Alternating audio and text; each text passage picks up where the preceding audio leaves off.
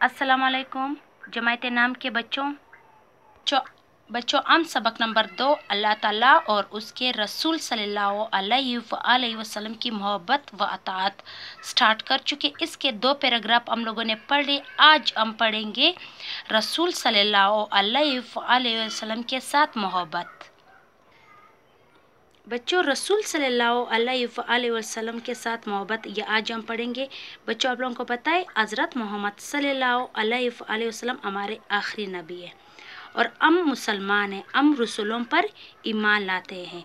तो अल्लाह ताला फरमाता है, तुम में से उस वक्त उस वक्त तक वो शख्स मोमिन नहीं है, ईमान वाला नहीं है, जब तक वो हज़रत मोहम्मद सल्लल्लाहु अलैहि वसल्लम से मोहब्बत ना करें। बच्चों तो मोहब्बत का तकाजा ये है कि जिससे मोहब्बत किया जाता है, उसके हर हुक्म जो है, उस पर अमल करना फ़र्ज़ हो जाता है। ओके बच्चों?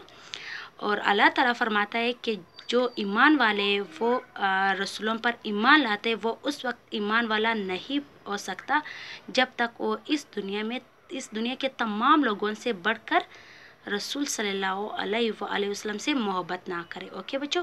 तो आए पढ़ते हैं। रसूल सल्लल्लाहु अलैहि वसल्लम की मोहब्बत भी ईमान का तकाजा है। कुरान मजीद ने इस मोहब्बत का तस्करा किया है।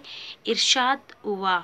नबी अकरम सल्लल्लाहु अलैहि वसल्लम मोमिनों के लिए उनकी अपनी जानों से भी ज़्यादा महबूब है।